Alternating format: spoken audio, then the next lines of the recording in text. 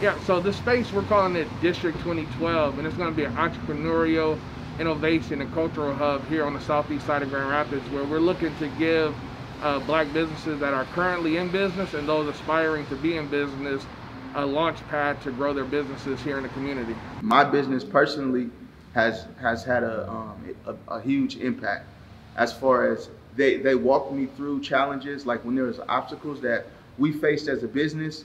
I literally would call a GRABB, and they would literally come have a meeting, and we would figure out how we was gonna knock down whatever was in our way.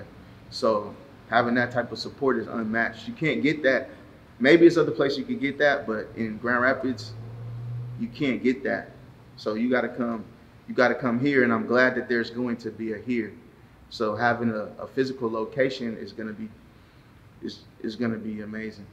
I live in this area. Um, I service clients in this area, so it's an, an amazing opportunity for Black business owners to just have a central hub and a location and a platform to be able to seek services and receive services, but also get advice from other business owners and really create a network um, of opportunity for Black business owners. And Jamiel has, you know, really blessed us with the with the opportunity to have an impact um, as a black-owned startup.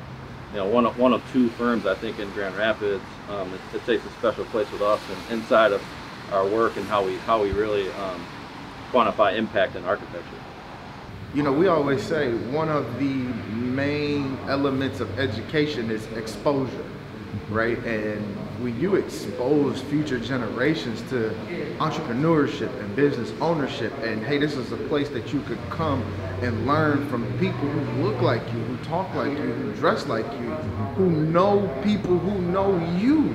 That is a big key in generational growth, right? And so throughout time, that will have an immediate impact on the growth of black business owners in this community, entrepreneurship in this community, and pride within this community.